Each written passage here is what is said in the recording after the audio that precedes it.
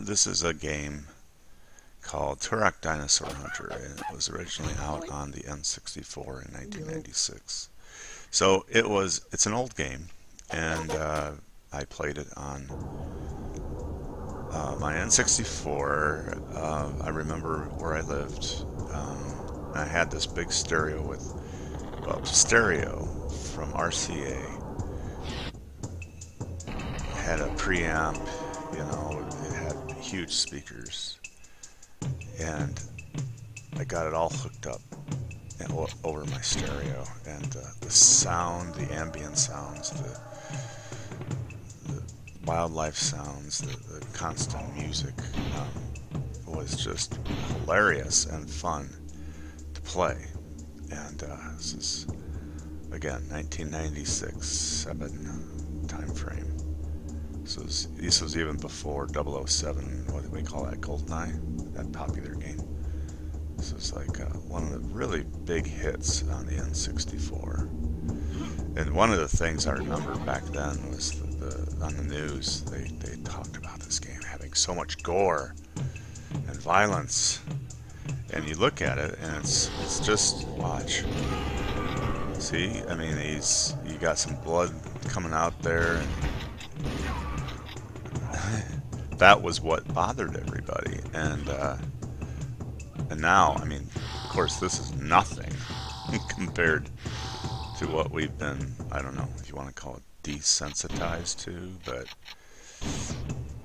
uh, here I'm adjusting the volume because I I thought it was too loud when I was trying to my my my my microphone wasn't working, so I just had to do some troubleshooting. Listen here.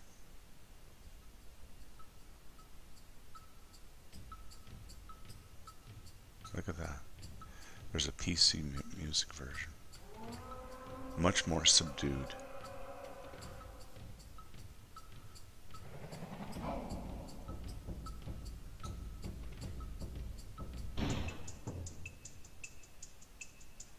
Boom, boom. Boom, boom. you know, that big bass drum sound is not on the PC version, at least on the part that I played. So here I'm looking at the primary display and I, I was a little surprised. ViewSonic. ViewSonic? I mean, that's the name of my display. So it's not the graphics card, it's just the display. So I, I have it on a laptop and then it's HDMI to to a monitor. That's ViewSonic monitor. okay. There's actually two video cards on this box, or on this um, laptop. Uh, Intel graphics and, uh, and NVIDIA uh, 10, I don't know, 1050, I think. TI. Back back when I got this years ago, it was considered a VR ready laptop. Now this won't even pass a test for VR. So, I mean, it still works. I've used it for VR. So anyway, this is just the portion. I didn't play very long.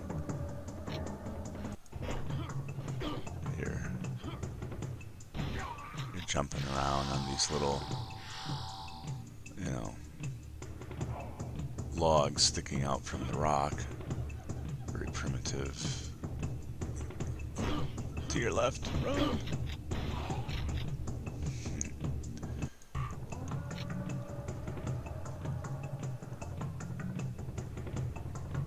I mean, it's that constant. Here's where I get killed. Dead. Watch this. Here's the animation. This.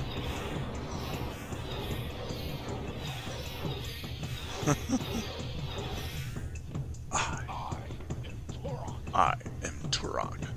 So imagine this, you know, being coming over your stereo speakers in 1996 for the first time. It, it just was such a big deal back then.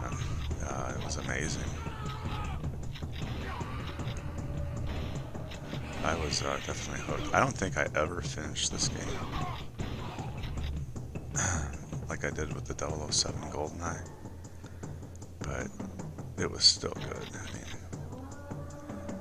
back then I remember I would always get stuck on a level, some level, and I would just get stuck. Listen to the sounds underwater.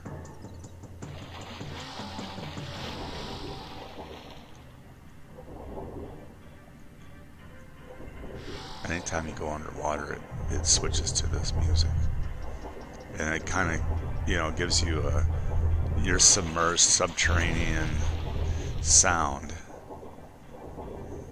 And here I get kind of lost. And I thought I was going to run out of the air, but I, I didn't. And so that's Turok, Dinosaur Hunter. Um, I, I, switch, I switched it off after this, but it's a nice look back. I got it on sale. Uh, that's that's the reason I got it. It was I've been waiting for for it to go on sale for a long time on Steam. So